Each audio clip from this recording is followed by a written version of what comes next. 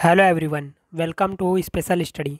दोस्तों, आज के स्पेशल वीडियो में मुद्रा एवं बैंकिंग से बनने वाले जितने भी इम्पोर्टेंट क्वेश्चंस हैं, जो कि अभी तक पिछली एग्ज़ाम में पूछे जा चुके हैं, उन सभी को इस वीडियो में कवर करेंगे। और दोस्तों, बता दूँ कि ये इकोनॉमिक्स का बहुत ही फ़ेमस चैप्टर है। अगर इकोनॉमिक्स से क्वेश्चन आता है तो इसी टॉपिक से क्वेश्चन आता है, ठीक है? और इसके इस टॉपिक के बारे में 300 प्लस क्वेश्चंस को करने वाले हैं। लेकिन मैं ये एक वीडियो में नहीं करूँगा, इन्हें मैं अलग अलग पार्ट में लेके आऊँगा। क्योंकि अगर वीडियो लंबा हो जाएगा तो आप खुद भी देखना पसंद नहीं करोगे, इसीलिए मैं अलग अलग पार्ट में लेके आऊँगा। और ये पार्ट वन रहने वाला है तो चलिए शुरू करते हैं। हमारा क्वेश्चन नंबर वन है, मुद्रा, स्वयं मुद्रा का निर्माण करती है, यह परिभाषा किसने प्रस्तुत की है? तो जो मुद्रा है, स्वयं मुद्रा का निर्माण करती है, ये कथन है क्रौमर का, ठीक है? याद रखिएगा ऑप्शन नंबर सी इसका सही आंसर होगा। क्वेश्चन नंबर टू है ग्रेशम का नियम निम्नलिखित में से किससे संबंधित है? तो ग्रेशम का नियम जो संबंधित है, मुद्रा के प्रचलन से संबंधित है। अगला क्वेश्चन है, निम्नलिखित में से कौन मुद्रा का कार्य नहीं है? तो निम्न में से कौन मुद्रा का कार्य नहीं है? मूल्य का स्थिरीकरण करना जो है, मुद्रा का कार्य नहीं है। बढ़ते हैं आगे। क्वेश्चन नंबर फोर है, ऐसी विदेशी मुद्रा जिसमें शीघ्र पलायन कर जाने की प्रवृत्ति हो, क्या कहलाती है? तो ऐसी मुद्रा जिसमें कि शीघ्र पलायन हो सके, ऐसी मुद्रा को हम बोलते हैं गर्म मुद्रा, ठीक है? याद रखिएगा। क्वेश्चन नंबर फाइव है, हवाला क्या है? तो दोस्तों, याद रखिएगा, जो हवाला है, विदेशी मुद्रा का अवैध कारोबार है। तो ऑप्शन नंबर ए इसका सही आंसर हो जाएगा। अगला क्वेश्चन है हार्ड करेंसी से तात्पर्य है। तो हार्ड करेंसी से तात्पर्य क्या है? वह मुद्रा जिसकी आपूर्ति मांग की अपेक्षा कम हो, ठीक है?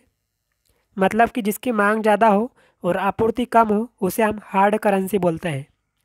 अगर सॉफ्ट करेंसी की बात करें तो सॉफ्ट करेंसी से क्या तात्पर्य है? इसका जस्ट उल्टा, जिसकी मांग कम हो और आपूर्ति ज़्यादा हो, ठीक है? तो वह मुद्रा जिसकी आपूर्ति मांग की अपेक्षा अधिक हो। तो ऑप्शन नंबर बी इसका सही आंसर होगा। अगला क्वेश्चन है क्वेश्चन नंबर एट जिस मुद्रा में भुगतान करने पर लेनदार कानूनी तौर पर स्वीकार करने से इनकार नहीं कर सकता है, उसे क्या कहते हैं? तो उसे कहते हैं विधि ग्राह्य मुद्रा। ऑप्शन नंबर जो ए दिया है, इस क्वेश्चन क्वेश्चन का सही आंसर हो जाएगा। नाइन नंबर क्वेश्चन है सस्ती मुद्रा से क्या अभिप्राय है?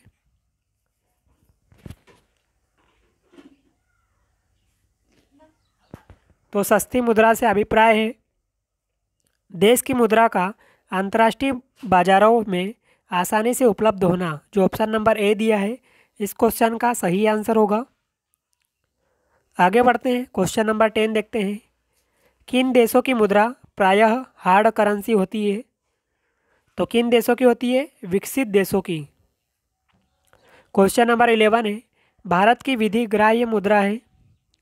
तो भारत की विधि ग्राह्य मुद्रा क्या कहलाती है? रुपया। इंपॉर्टेंट क्वेश्चन रहेगा आपकी एग्ज़ाम के लिए। आगे बढ़ते हैं ट्वेल्व नंबर क्वेश्चन है। सही कथन आपको बताना है, चार ऑप्शन दिए हैं। तो इसमें से सही कथन कौन कौन से हो जाएँगे दोस्तों? वह मुद्रा सॉरी वह मुद्रा जिसमें शीघ्र पलायन कर जाने की प्रवृत्ति होती है हार्ट मनी कहलाती है। तो ये सही कथन है यहाँ पर। वह मुद्रा जिसकी आपूर्ति की तुलना में मांग लगातार अधिक रहती है, हार्ड करेंसी कहलाती है। तो ये कथन यहाँ पर सही है। वह मुद्रा जिसकी मांग आपूर्ति की तुलना में कम रहती है, हार्ड करेंसी कहलाती है। तो यहाँ पर गलत हो जाएगा। चौथा ऑप्शन दिया है। वह मुद्रा जिसकी आपूर्ति अंतर्राष्ट्रीय बाज़ार में मांग की तुलना में अधिक रहती है सॉफ्ट करेंसी कहलाती है। तो ये भी यहाँ पर सही हो जाएगा। मतलब जो ऑप्शन नंबर बी दिया है, एक, दो, चार, ये यहाँ पर सही हो जाएगा, ठीक है? बढ़ते हैं आगे, क्वेश्चन नंबर थर्टीन देखते हैं। सरकार द्वारा पुरानी मुद्रा को समाप्त कर नई मुद्रा चलाना कहलाता है। तो सरकार द्वारा जो पुरानी मुद्रा को समाप्त कर नई मुद्रा का चलाना क्या कहलाता है? तो ये कहलाता है दोस्तों, विमुद्रीकरण, ठीक है? और ये कई बार एग्ज़ाम में पूछा गया है क्वेश्चन तो याद रखिएगा। फोर्टीन नंबर क्वेश्चन है। बाज़ार के नियम के प्रस्तुत करता थे। तो बाज़ार के नियम किसने दिए थे? जे बी से ने। ठीक है, जो ऑप्शन नंबर बी दिया है, इस क्वेश्चन का सही आंसर होगा। जे बी से के द्वारा बाज़ार के नियम दिए गए थे। फिफ्टीन नंबर क्वेश्चन है। मुद्रा संकुचन का कारण होता है। तो मुद्रा संकुचन का कारण क्या होता है? माल एवं सेवाओं की पूर्ति की तुलना में मांग की पूर्ति में कमी, जो ऑप्शन नंबर सी दिया है, इस क्वेश्चन का सही आंसर हो जाएगा। आगे बढ़ते हैं। सोलह नंबर क्वेश्चन है। निम्नलिखित में से कौन मुद्रा आपूर्ति नियंत्रण में सहायक नहीं है? तो कौन सी मुद्रा आपूर्ति नियंत्रण में सहायक नहीं है? मुक्त बाज़ार नीति, इसका सही आंसर होगा। सत्रह नंबर क्वेश्चन है। वह अवस्था जिसमें मुद्रा का मूल्य गिर जाता है और कीमतें बढ़ जाती है। क्या कहलाती है? इम्पोर्टेंट क्वेश्चन है। काफ़ी बार ये पूछा गया है। तो उसको बोलते हैं मुद्रा स्फीति, ठीक है? इससे क्वेश्चन बनता ही बनता है। आगे बढ़ते हैं। एट्टीन नंबर क्वेश्चन है। अर्थव्यवस्था की वैसी स्थिति जिसमें मुद्रा स्फीति के साथ मंदी की स्थिति होती है, क्या कहलाती है? तो मुद्रा स्फीति के साथ अगर मंदी की स्थिति होती है तो ऐसी स्थिति को बोलते हैं स्टेकफ्लेशन ठीक है? जो ऑप्शन नंबर बी दिया है, इसका सही आंसर होगा। नाइनटीन नंबर क्वेश्चन है, मुद्रा स्फीति से बाज़ार की वस्तुएँ क्या होती है? तो मुद्रा स्फीति से बाज़ार की वस्तुएँ महँगी हो जाती है, ठीक है? ट्वेंटी नंबर क्वेश्चन है, लगातार बढ़ती कीमतों की प्रक्रिया होती है। तो लगातार बढ़ती कीमतों की प्रक्रिया क्या कहलाती है? मुद्रा स्फीति। ट्वेंटी वन नंबर क्वेश्चन है घाटे की वित्त व्यवस्था में व्यय एवं राजस्व का अंतर, अतिरिक्त कागज़ी मुद्रा छपाकर पाटते हैं। इस युक्ति का उद्देश्य आर्थिक विकास है, परंतु यदि यह विफल हुई तो इससे कौन सी स्थिति उत्पन्न होती है? तो अगर ये विफल हो जाता है तो इससे मुद्रा स्फीति की स्थिति उत्पन्न होती है, ठीक है? ट्वेंटी टू नंबर क्वेश्चन है, निम्नलिखित में से वह वर्ग कौन सा है जिसको मुद्रा स्फीति के कारण सबसे अधिक हानि होती है? तो कौन सा वर्ग है वो? देनदार, ठीक है? देनदार को सबसे ज़्यादा मुद्रा स्फीति से हानि होती है। आगे बढ़ते हैं ट्वेंटी थ्री नंबर क्वेश्चन है। मुद्रा स्फीति से लाभान्वित होता है तो मुद्रा स्फीति से सबसे ज़्यादा फ़ायदा देखने को मिलता है ऋणी को। ये भी काफ़ी बार एग्ज़ाम में पूछा गया है क्वेश्चन तो याद रखिएगा। ट्वेंटी फोर नंबर क्वेश्चन है। मुद्रा स्फीति की उच्च दर और बेरोजगारी की उच्च दर की एक साथ उपस्थिति को क्या कहते हैं? तो एक साथ उपस्थिति को बोलते हैं स्टेकफ्लेशन अगला क्वेश्चन है ट्वेंटी फाइव नंबर क्वेश्चन मुद्रा स्फीति को इनमें से किसके द्वारा रोका जा सकता है? तो निम्न में से, बचत का बजट, प्रत्यक्ष कराचान में वृद्धि और सरकारी व्यय में कटौती करके मुद्रा स्फीति को रोका जा सकता है। तो इसका सही आंसर होगा इनमें से सभी। ट्वेंटी सिक्स नंबर क्वेश्चन है निम्नलिखित में से कौन मुद्रा स्फीति के नियंत्रण की विधि नहीं है? तो कौन सी नहीं है दोस्तों? ब्याज दर में कमी जो दिया है, ये मुद्रा स्फीति के नियंत्रण की विधि नहीं है। तो इसका सही आंसर होगा ऑप्शन नंबर सी। बढ़ते हैं आगे। ट्वेंटी सेवन नंबर क्वेश्चन है। भारत में मुद्रा स्फीति ज्ञात करने के लिए किसका प्रयोग किया जाता है? तो मुद्रा स्फीति ज्ञात करने के लिए थोक मूल्य सूचकांक का उपयोग किया जाता है। अगला क्वेश्चन है, भारत में मुद्रा स्फीति मापी जाती है। तो भारत में जो मुद्रा स्फीति मापी जाती है, वो मापी जाती है थोक मूल्य सूचकांक के द्वारा। ऑप्शन नंबर ए इसका सही आंसर हो जाएगा। ट्वेंटी नाइन नंबर क्वेश्चन है, मुद्रा स्फीति की शून्य दर उस वर्ष में अवश्य मानी जाती है, जब? तो कब मानी जाती है? वर्ष के प्रत्येक सप्ताह में मुद्रा स्फीति की वार्षिक दर शून्य हो जब मुद्रा स्फीति की शून्य दर से उस वर्ष में अवश्य मानी जाती है। तो ऑप्शन नंबर ए जो दिया है, इसका सही आंसर हो जाएगा। थर्टी नंबर क्वेश्चन है, मुद्रा स्फीति को स्थायी रूप से किस प्रकार नियंत्रित किया जा सकता है? तो किस प्रकार नियंत्रित किया जा सकता है? मुद्रा आपूर्ति की वृद्धि कर नियंत्रण कर, ठीक है? तो ऑप्शन नंबर जो सी दिया है, इसका सही आंसर हो जाएगा। थर्टी वन नंबर क्वेश्चन है। निम्नलिखित में से मुद्रा आपूर्ति की सर्वाधिक तरल माप है। तो सर्वाधिक तरल माप क्या है? M two sorry M one इसका सही आंसर होगा ऑप्शन नंबर ए अगला क्वेश्चन है थर्टी टू नंबर क्वेश्चन किस घटक को, किस संगठक को मुद्रा पूर्ति में विस्तृत मुद्रा कहा जाता है? तो विस्तृत मुद्रा किसे कहा जाता है? एम थ्री को। थर्टी थ्री नंबर क्वेश्चन है। मुद्रा आपूर्ति की माप एम थ्री में किसे सम्मिलित नहीं किया जाता है?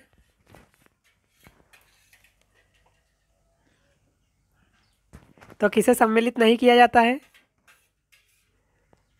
डाक खानों की मांग जमा, ठीक है? जो ऑप्शन नंबर बी दिया है, इसका सही आंसर होगा। थर्टी फोर नंबर क्वेश्चन है। मुद्रा स्फीति किस कारण से होती है? तो जो मुद्रा स्फीति है, वो होती है मुद्रा पूर्ति में वृद्धि से। तो ऑप्शन नंबर सी इसका सही आंसर होगा। थर्टी फाइव नंबर क्वेश्चन है, किस घटक में भारत के विदेशी मुद्रा भंडार की वृद्धि में प्रमुख योगदान दिया है? तो किसने दिया है? रुपए का अवमूल्यन, प्रत्यक्ष और अप्रत्यक्ष विदेशी निवेश और रुपए की पूर्ण परिवर्तनीयता। तो इसका सही आंसर होगा ऑप्शन नंबर डी, इनमें से सभी। थर्टी सिक्स नंबर क्वेश्चन है, देश के विदेशी मुद्रा भंडार में किस संग किस घटक को सम्मिलित किया जाता है? तो विदेशी मुद्रा भंडार में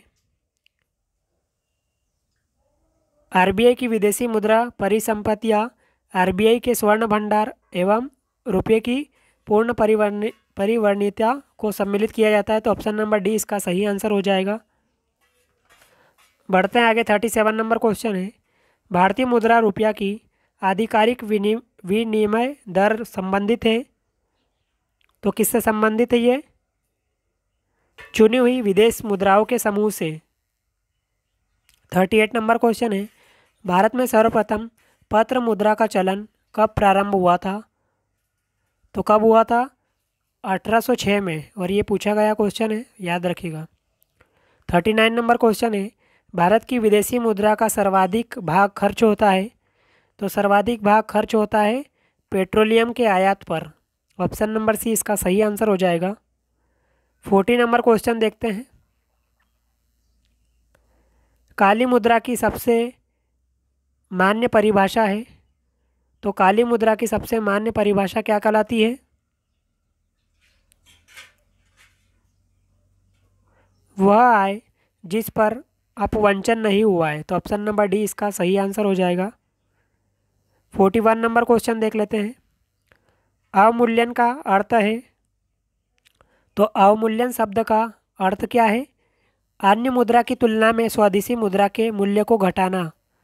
ऑप्शन नंबर ए इसका सही आंसर हो जाएगा। फोर्टी टू नंबर क्वेश्चन देखते हैं। निम्नलिखित में से कौन सा कथन सही है? तो चार ऑप्शन में से कौन सा कथन सही है? अवमूल्यन से विदेशी बाज़ार में निर्यात सस्ता हो जाता है तो ये कथन सही है। अवमूल्यन से घरेलू बाज़ार में आयात महँगा होता है तो ये दोनों कथन यहाँ पर सही हो जाएँगे। फोर्टी थ्री नंबर क्वेश्चन है, अवमूल्यन का उद्देश्य होता है तो अवमूल्यन का जो उद्देश्य होता है, निर्यात को प्रोत्साहित करना। काफ़ी बार ये पूछा गया क्वेश्चन है तो याद रखेगा। फोर्टी फोर नंबर क्वेश्चन है, भुगतान संतुलन के विपरीत होने की दशा में निम्नलिखित में से कौन सा कदम स्थिति सुधारने में सहायक होगा? तो भुगतान संतुलन के विपरीत होने की दशा में निम्न में से कौन सा कदम सुधारने में सहयोग करता है? तो याद रखिएगा अवमूल्यन इसका सही आंसर होगा।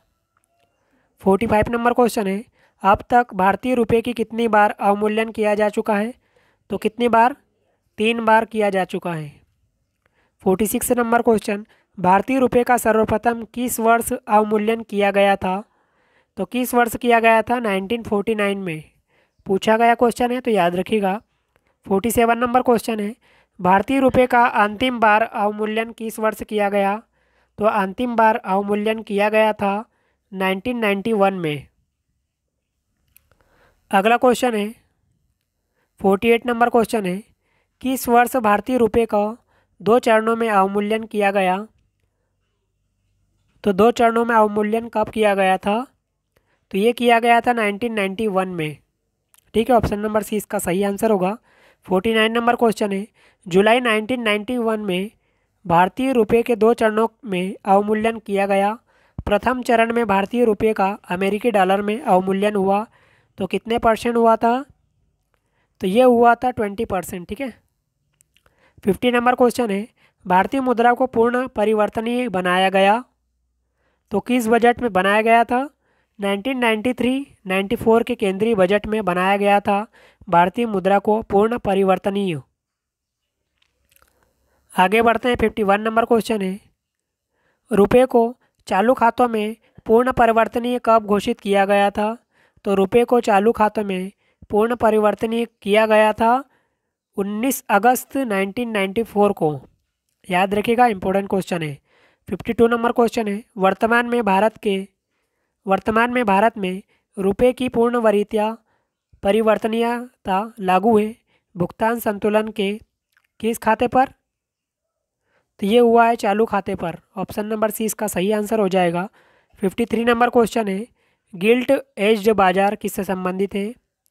तो जो गिल्ट एज्ड बाज़ार है, वो संबंधित है सरकारिया प्रतिभूतिया से, ठीक है? सरकारी प्रतिभूतियाँ से। तो याद रखिएगा फिफ्टी फोर नंबर क्वेश्चन है।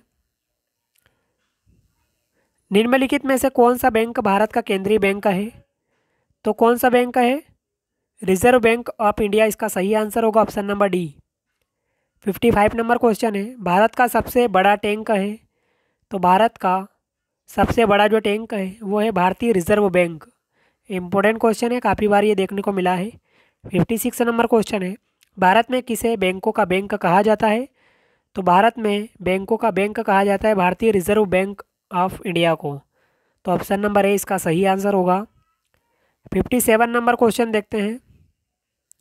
बैंक की नई शाखाएँ खोलने के लिए किसके द्वारा लाइसेंस दिया जाता है? तो बैंकों की शाखाएँ खोलने के लिए आरबीआई के द्वारा लाइसेंस दिया जाता है। इंपॉर्टेंट क्वेश्चन रहेगा आपके एग्ज़ाम के लिए। फिफ्टी एट नंबर क्वेश्चन है। आरबीआई का मुख्यालय कहाँ पर स्थित है? तो आरबीआई का जो मुख्यालय है, वो है मुंबई में, ठीक है? और इसकी स्थापना कब हुई थी? 1935 को। फिफ्टी नाइन नंबर क्वेश्चन है, भारतीय रिज़र्व बैंक का कार्य नहीं है। तो निम्न में से कौन सा भारतीय रिज़र्व बैंक का कार्य नहीं है? निर्यातकर्ताओं को ऋण देना, ये आरबीआई का कार्य नहीं है। तो दोस्तों, उम्मीद है कि सभी क्वेश्चन आपको अच्छे लगे होंगे, ठीक है ना? ये पार्ट वन था, और भी पार्ट इस आने वाले हैं। तो वीडियो को कंटिन्यू देखेगा ठीक है? अगर वीडियो अच्छा लगा हो तो लाइक कीजिएगा चैनल पर नए हो तो सब्सक्राइब कीजिएगा, साथ में बेल आइकन को भी प्रेस कीजिएगा। बेल आइकन को प्रेस करोगे तभी मेरा नेक्स्ट पार्ट आपको टाइम पर मिलेगा, ठीक है? तो इम्पोर्टेंट है सब्सक्राइब करके बेल आइकन को प्रेस करना।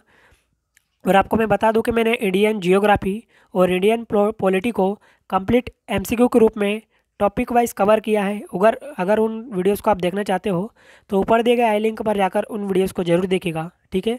तो चलिए मिलते हैं नेक्स्ट वीडियो में नेक्स्ट पार्ट में, जब तक के लिए जय हिंद ऑल द बेस्ट